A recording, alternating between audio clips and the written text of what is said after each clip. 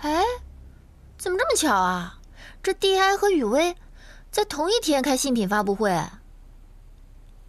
我看看，这设计风格好像还有点相似啊，但整体又不同。哎，你这么说，这设计风格和炎夏的还真的挺像的。嗯。不过，又比炎夏的新颖了一点哎，如果你是消费者，你会选哪个？抛却和炎夏的关系的话，我可能会选雨薇的。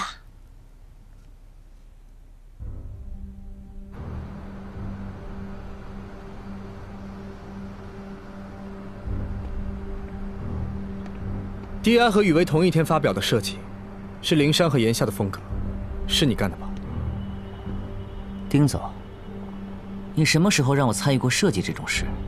再说了，炎夏的任何设计我都没有见过，不是吗？要说剽窃 DI 的设计，该不会是炎夏外泄设计吧？绝对不可能，炎夏不可能做这种事。这么相信炎夏，丁总，这可不是你的做事风格。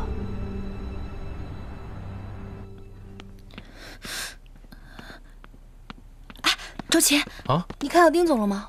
你找丁总有什么事儿啊？啊，我想他陪我面对记者。这种事儿你自己处理就行了，丁总可没空陪你。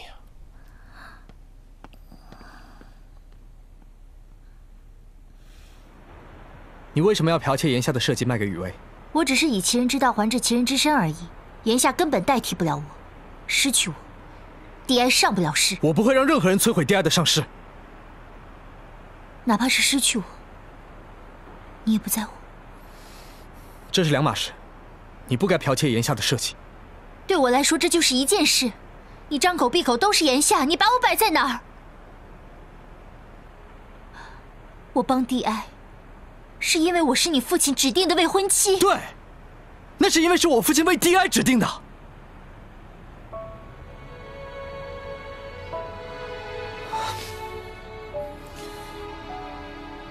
你这话是什么意思？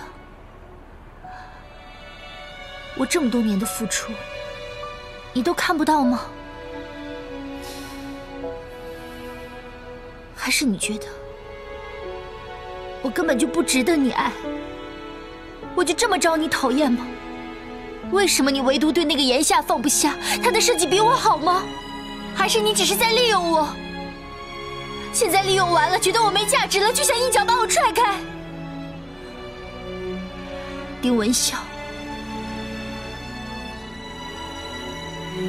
失去的我都会要回来。